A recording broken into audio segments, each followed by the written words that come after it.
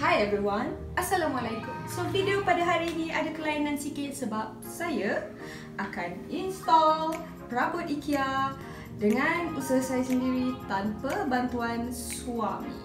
Suami tengah jaga anak-anak, kita buat projek. See? Okay, perabot ni saya baru beli tempoh hari semalam.